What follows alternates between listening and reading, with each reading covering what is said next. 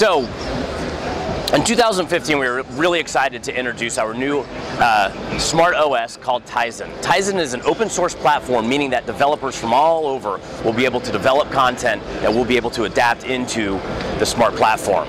And the user experience is really going to be expanded upon. There's going to be more choices than ever before in terms of content, in terms of entertainment, in terms of connecting devices, which we call convergence, where I can go from sharing content from my phone to my TV, back from my TV back to my phone. It's gotten easier than ever before. We've been doing this for a while, and it's been uh, a little bit of a process to get something from your TV to your phone. Now I can literally do it all with one click.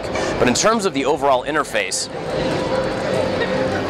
We've gone from a very wide five panel layout where things were separated into specific categories. Now we have them all in one nice, easy, easy to navigate, very responsive, whoops,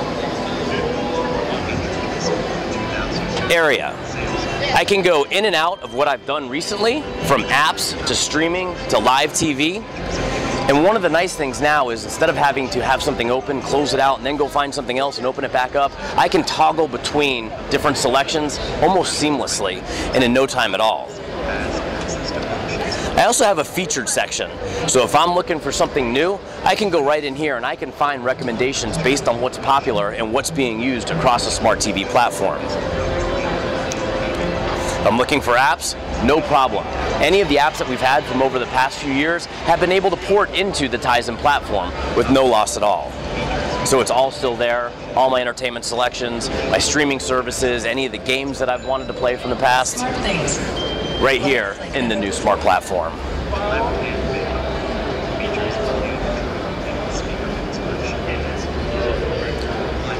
So the convergence piece that I talked about before, the ability to connect devices, that's a couple steps this way. We're going to go check that out next. Thanks, sir. You bet.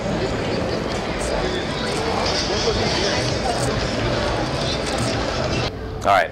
So here we are in the convergence room. We mentioned this when we were talking out there about one of the nice things with with uh, with Tizen and one of the benefits to the user is something called convergence. And convergence is the ability to connect devices for various reasons. So we're going to run through a couple of the things and how easy they are to do when we're pairing Samsung mobile devices to our 2015 smart TV lineup.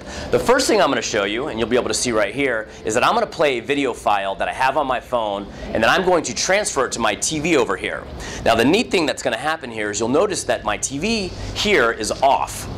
My phone is going to use something called Bluetooth Low Energy, or BLE, to power the TV on, then it's going to establish a Wi-Fi direct connection with the TV so that my video that I'm playing on my phone will show up here. So I'm going to touch my video button. I'm going to play. And then with this touch right here, mobile device to TV, the Bluetooth low energy connection has now happened. Or Bluetooth BLE connection has now happened. My TV is on. And now via Wi-Fi Direct, I am streaming content from my mobile device to my TV. So now we're going to show the opposite. I'm going to take the live feed from my TV and send it back to my mobile device. So from one touch right here, which is called Quick Connect, I'm going to connect to that TV.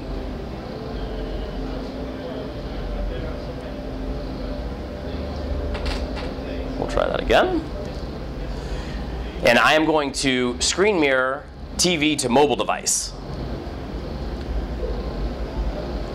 So now, whatever I'm playing on my TV, Blu-ray, set-top box, whatever it may be, if I want to take that content with me, I can do that with this. Now, it's not like I can take live TV out to dinner or anything like that because you have to maintain a Wi-Fi direct connection. But what I can do is if I want to take this out into the backyard because it's a nice day, I want to watch some football outside, but I don't want my TV on to be sucking up my power bill, I can actually power my TV off. The connection is still there, the signal is still transmitting, and I've still got live TV on my mobile device. And this is all possible and powered by the Tizen technology in the TV smart platform. And one last thing I'd like to show you is something we're really excited about called briefing on TV.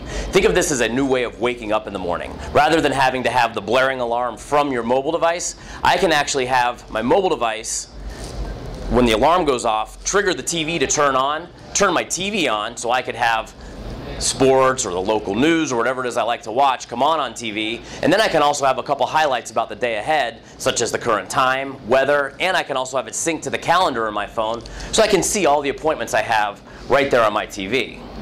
Again, I'm going to go back in here to Quick Connect, connect to that TV, and right here I'm going to set my briefing on TV, slide the alarm on, so let's imagine that this is happening at 6 o'clock in the morning. And this is going to happen through something called Wake on LAN. Now it's basically your mobile device and your TV need to be connected to your home network or your home router because this is going to happen through those means rather than that Bluetooth low energy. Reason being your phone might not be within Bluetooth range of your TV. My alarm went off, my TV is on, and now I have this nice overlay here that's showing me about my day ahead.